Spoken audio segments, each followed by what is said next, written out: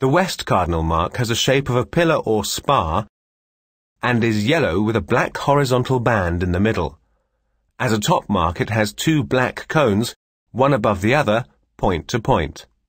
The west cardinal mark exhibits a white light with a rhythm of nine very quick flashes every 10 seconds or nine quick flashes every 15 seconds.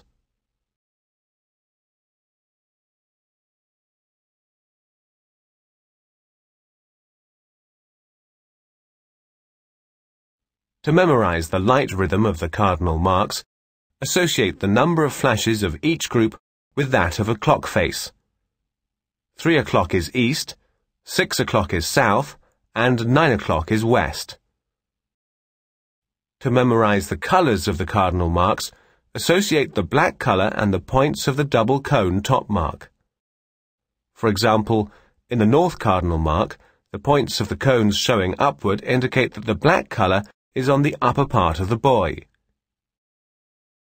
In the south cardinal mark, the points of the cones showing downward indicate that the black colour is on the down part of the buoy.